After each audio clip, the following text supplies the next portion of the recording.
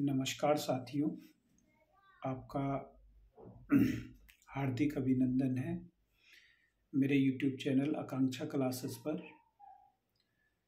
तो आज हम फैमिली एंड फ्रेंड्स थीम की दूसरी कड़ी को डिस्कशन करेंगे।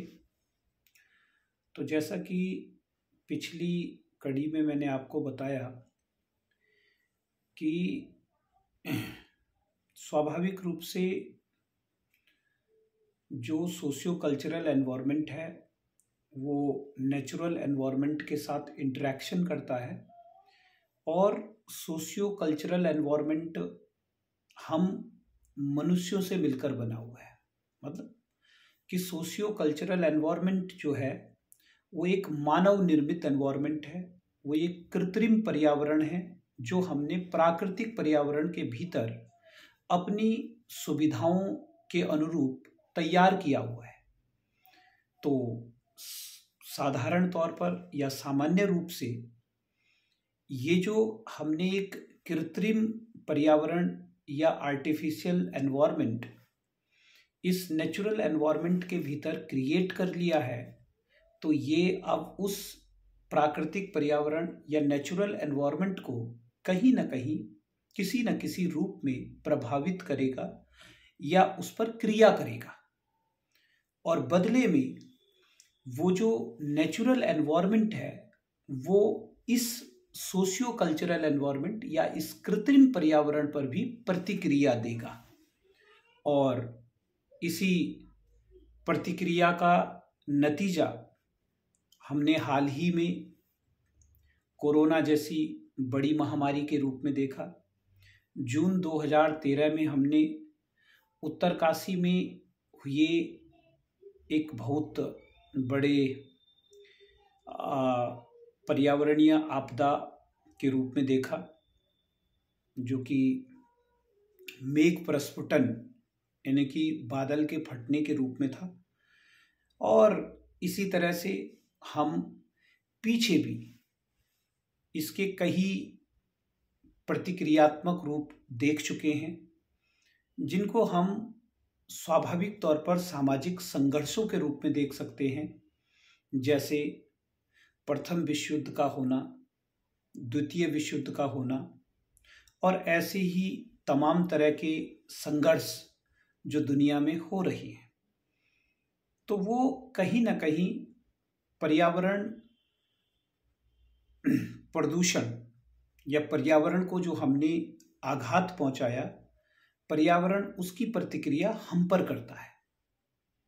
क्योंकि जितना हम पर्यावरण को दूषित करेंगे, पर्यावरण के संसाधन उतने ज़्यादा सीमित होते चले जाएँगे और पर्यावरणीय संसाधनों के सीमित होने के कारण मानव एक दूसरे से लड़ेंगे, एक दूसरे को समाप्त करना चाहेंगे।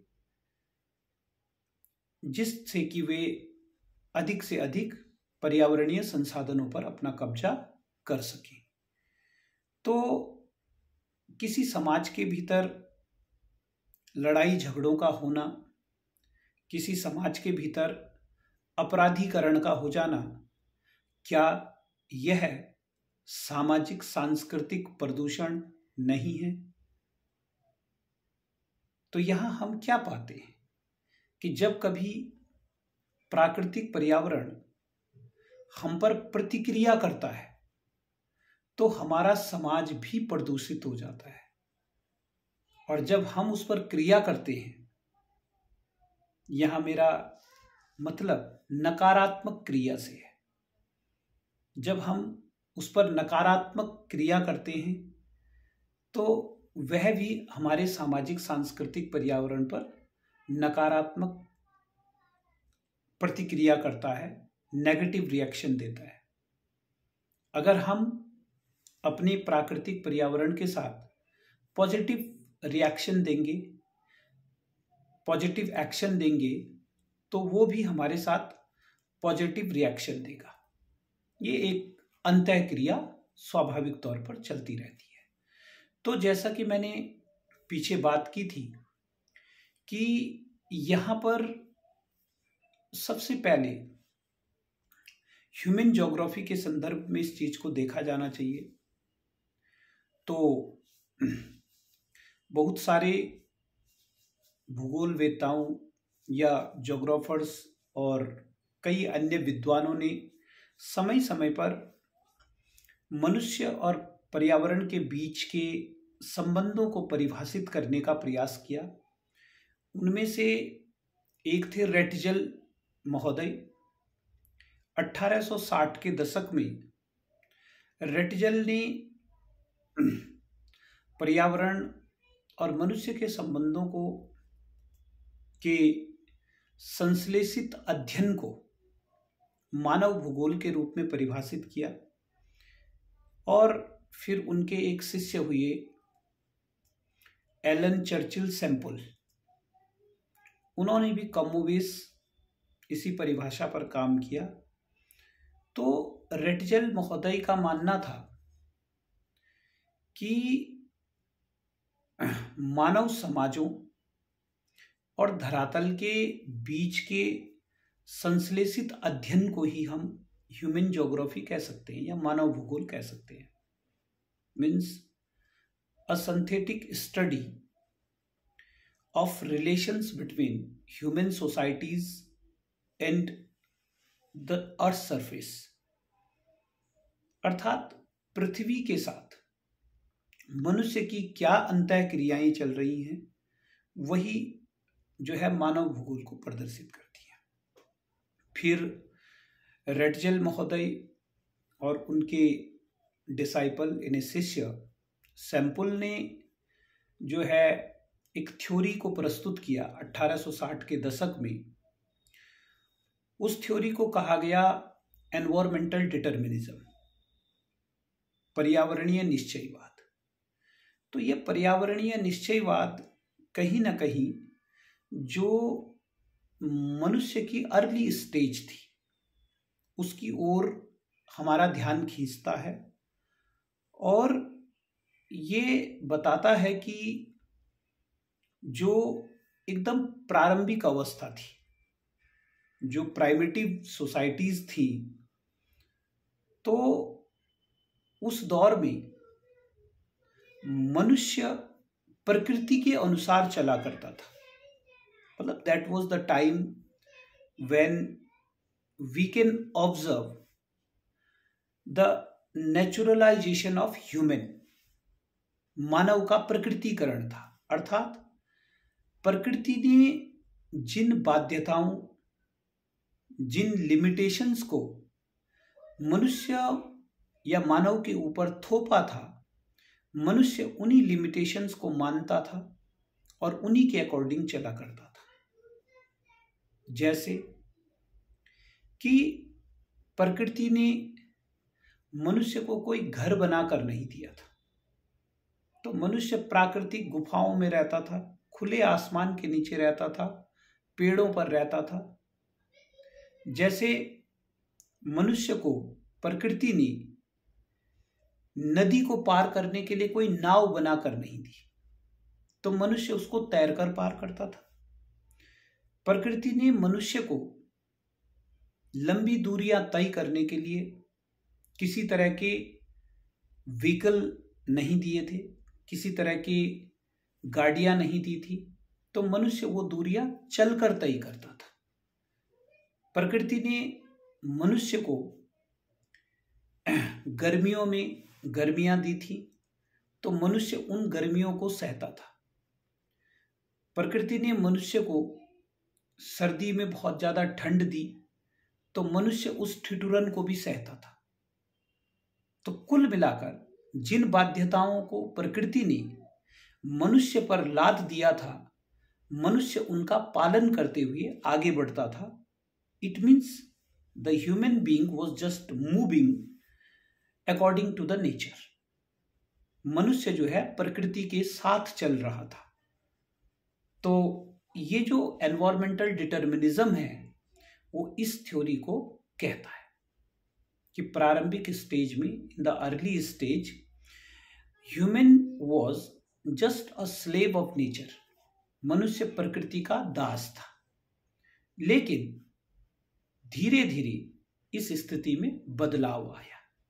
ये स्थिति ज़्यादा दिनों तक टिकी नहीं रह सकी। क्योंकि मनुष्य का भी निरंतर विकास हो रहा था। उसकी भी धीरे धीरे बौद्धिक क्षमता बढ़ती जा रही थी। और धीरे धीरे मनुष्य ने अपनी बौद्धिक क्षमता के बल पर प्रकृति के नियमों को समझना आरंभ कर दिया। अब प्रकृति के नियमों को क्या समझा उसने? तो प्रकृति के नियमों को उसने ये समझा कि मनुष्य ने देखा कि पानी में सभी चीज़ें नहीं डूबती हैं, कुछ तैरती भी हैं। तो इसी से उसको आइडिया आया कि नाव बनाई जा सकती है।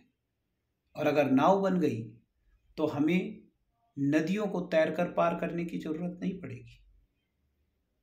मनुष्य को आइडिया आया कि ऐसा नहीं है कि लंबी दूरियाँ चलकर तय की जाएँ।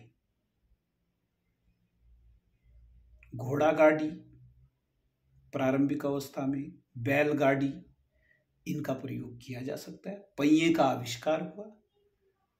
मनुष्य को इस बात की समझ पैदा हुई कि जब हम किसी फ्रूट को खाते हैं और उसके बीज नीचे नीचे गिरते हैं तो वो फिर से उग कर वो ऊपर आते हैं। तो इससे खेती, यानी कृषि की खोज हुई। तो अब मनुष्य जब कृषि की खोज कर लेगा तो वो केवल कंदमूल फलों पर आधारित नहीं रहेगा। मनुष्य को समझ आया कि जानवरों से केवल मीट ही प्राप्त नहीं हो सकता, इनसे अन्य चीज़ें भी प्राप्त की जा सकती हैं। ऊन, खाद, चमड़ा, दूध इत्यादि। तो ये वो प्रकृति के नियमों को धीरे धीरे समझ रहा था। आगे चलकर विज्ञान ने और भी बड़ा काम किया। आर्कमिडीज जैसे व्यक्ति ने बताया कि जो वाटर है, वो बायोन्सी फोर्स पैदा करता है, उत्प्लावन बल। और फिर उस बेसिस पर हमने बड़े बड़े जहाज़ों का निर्माण कर डाला। राइट ब्रदर्स ने ग्रेविटी पर भी विजय प्राप्त की और वायुयान जैसी चीज़ बनी। जेम्स वॉट ने भाप के इंजन को समझा। तो ऐसी बहुत सारे आविष्कार तब हुए जब हम प्रकृति के नियमों को समझने लगे। और फिर यहाँ से एक नया सिलसिला शुरू हुआ, जिसे संभववाद के नाम से जाना गया, पॉसिबलिज्म। कि प्रकृति में संभावनाएँ मौजूद हैं, आप प्रकृति के नियमों को समझिए और उन नियमों का प्रयोग करते हुए प्रकृति में मौजूद संभावनाओं को अपने हित में प्रयोग कीजिए। और फिर जस्ट मनुष्य ने यही करना शुरू कर दिया। उसने प्रकृति के नियमों को समझा और प्रकृति में मौजूद संभावनाओं को अपने हित में प्रयोग करना शुरू कर दिया। और फिर एक समय ऐसा आता है कि जब प्रकृति मनुष्य के अनुसार चलने लगती है। वर्तमान समय में आप अंटार्कटिका में बैठे हुए हो और वहाँ चारों ओर ठंड है, लेकिन आप अपने रूम को एक रूम हीटर जलाकर गर्म रख सकते हो। अब आप बाध्य नहीं हैं सर्दी को सहने के लिए। आप उष्ण कटिबंधीय क्षेत्र में बैठकर आराम से अपने कमरे को एसी के द्वारा या एयर कंडीशनर के द्वारा ठंडा रख सकते हो। अब आप गर्मी सहने के लिए बाध्य नहीं है। आप यहाँ से और अमेरिका की दूरी कुछ ही घंटों में तय कर सकते हैं। अब आप चलने के लिए बाध्य नहीं है। तो इस तरह से अब प्रकृति मनुष्य के अनुसार चलने लगी। तो इसे कहा गया ह्यूमनाइजेशन ऑफ़ द नेचर प्रकृति का मानवीकरण। तो ये दूसरी थ्योरी थी पॉसिबिलिज्म इस थ्योरी को बीसवीं शताब्दी के प्रारंभ में जो है, विडाल डे लाब्लास के द्वारा दिया गया था। और इसमें यही कहा गया कि मनुष्य प्रकृति में उपस्थित संभावनाओं का दोहन करता है और प्रकृति में कुछ मॉडिफिकेशन करके उसे अपने अकॉर्डिंग बना लेता है। लेकिन फिर इस स्थिति ने मनुष्य को इंडस्ट्रियलाइजेशन तक पहुँचाया। और इंडस्ट्रियलाइजेशन के ऑनवर्ड फिर इसके बहुत घातक परिणाम निकलकर सामने आने लगे। विभिन्न देशों ने अपने यहाँ पर इंडस्ट्रीज़ को सेटअप किया और उन इंडस्ट्रीज़ ने पर्यावरणीय असंतुलन उत्पन्न करना आरंभ कर इंडस्ट्रीज़ ने मानव समाज के भीतर भी एक विशेष प्रकार का संघर्ष आरंभ कर दिया। एक देश दूसरे देश को गुलाम बनाने पर तुलने लग गया। और फिर यूरोप के देश पूरी दुनिया पर छा गए। उन्होंने दूसरे देशों को अपना उपनिवेश बनाना शुरू किया। स्वयं हमारा देश भारत 200 वर्षों तक अंग्रेज़ों का उपनिवेश रहा।